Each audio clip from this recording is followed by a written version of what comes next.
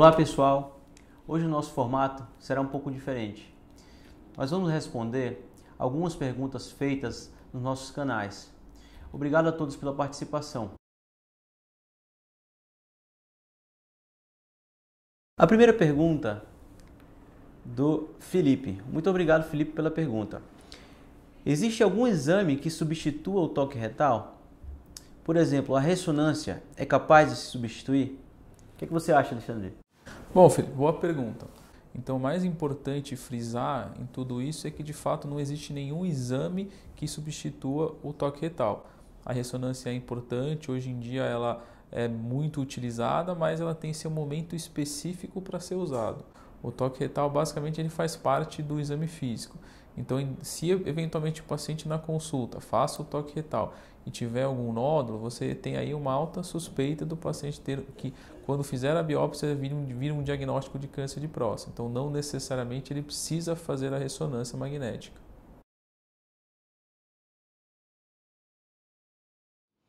Vamos para a segunda pergunta do Carlos. Doutores, meu PSA estava alto, fiz um novo exame e agora está baixo.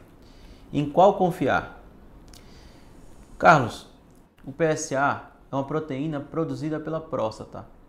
Qualquer coisa que atinja a próstata irá alterar, modificar o valor do PSA, seja câncer, doenças benignas ou inflamações.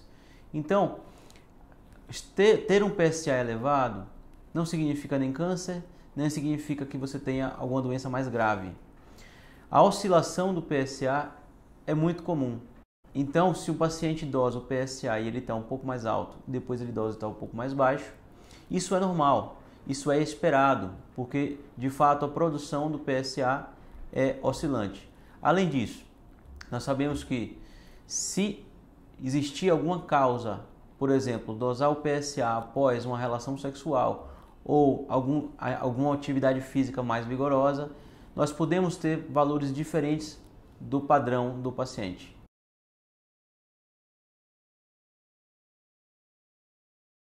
Então vamos na terceira pergunta do Juliano. Tenho 39 anos e meu tio descobriu agora um câncer de próstata. Eu vou ter a doença também? Boa pergunta, Juliano. No seu caso especificamente, que possui um parentesco de segundo grau, não tem tanto risco para, para desenvolver o câncer de próstata. Os pacientes que têm parentesco de primeiro grau, ou seja, irmão, pai ou avós, esses pacientes que de fato têm um risco muito aumentado de desenvolver o câncer de próstata. Para esses pacientes, o rastreamento deve iniciar aos 45 anos. Para o restante da população que não possui nenhum fator de risco, ou seja, parentesco de primeiro grau, é, negros, basicamente o rastreamento deve começar ao redor dos 50 anos.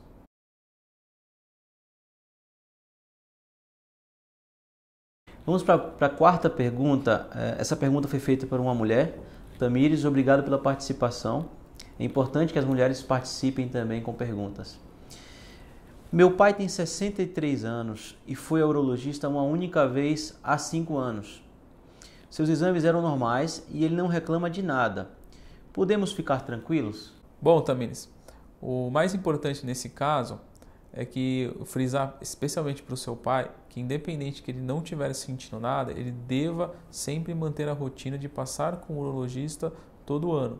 Basicamente, hoje mais de 50% dos pacientes, quando fazem um diagnóstico do câncer de próstata, eles não estão sentindo nada. Vão no urologista na sua rotina para fazer o PSA, fazer o toque retal e quando eventualmente um deles ou os dois estão alterados, aí eventualmente acaba fazendo a biópsia e o diagnóstico. Então, o mais importante para frisar para o seu pai é basicamente que ele continue mantendo o acompanhamento anual com o urologista. Então vamos para a quinta pergunta. É, não deixaram o nome. Mesmo assim, é, a pergunta é interessante. Doutor, fiz uma biópsia porque meu PSA estava alto. O resultado veio normal e agora o meu PSA desse ano continua alto. O que eu faço? Bom, essa é uma pergunta importante que é comum, inclusive, no consultório. A biópsia é a única forma de dar o diagnóstico definitivo de um, de um paciente que tenha eventualmente um câncer. Porém, ela estando negativa não significa que esse paciente não possa vir a ter um câncer em algum momento da vida.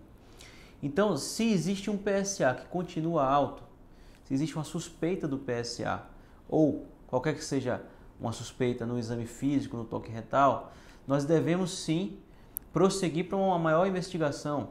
E muitas vezes essa nova investigação é uma nova biópsia. Então, precisa, o que é importante nesse seu caso?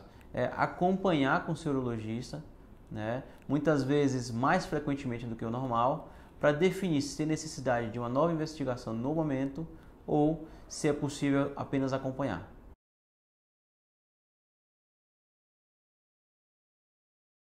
A sexta pergunta é do Ulisses.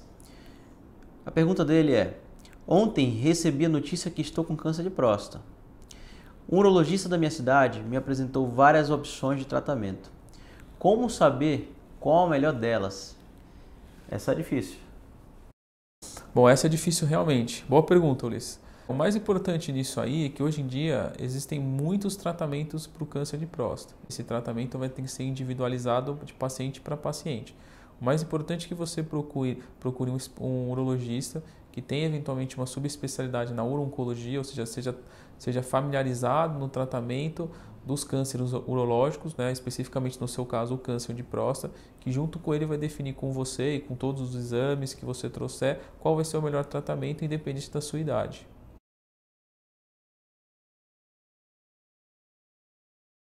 Então vamos para a última pergunta que foi feita pelo Gilberto. Um amigo fez cirurgia por câncer de próstata e ficou sofrendo com sonda vários dias. Com a cirurgia robótica, eu também preciso usar sonda? Bom, Gilberto, qualquer técnica que a gente utilizar, seja cirurgia aberta, laparoscópica ou robô assistida, o paciente vai ter que ficar de sonda. Basicamente, o uso da sonda ele se resume para garantir com que a sutura que a gente fez no local da retirada da próstata, onde a gente junta o canal da urina com a bexiga, que aquela, que aquela região possa ser cicatrizada. A grande vantagem da cirurgia robótica nesse caso é que de fato ela diminui o tempo do que o paciente fica de sonda, em torno de 7 a 10 dias, e quando você agrega a cirurgia robótica para o câncer de próstata, o paciente também tem um benefício da recuperação mais precoce da continência. Espero que essas respostas tenham ajudado outros telespectadores. Continue nos acompanhando, mandem mensagens, dúvidas, nós responderemos perguntas e discutiremos sobre os mais diversos assuntos um abraço.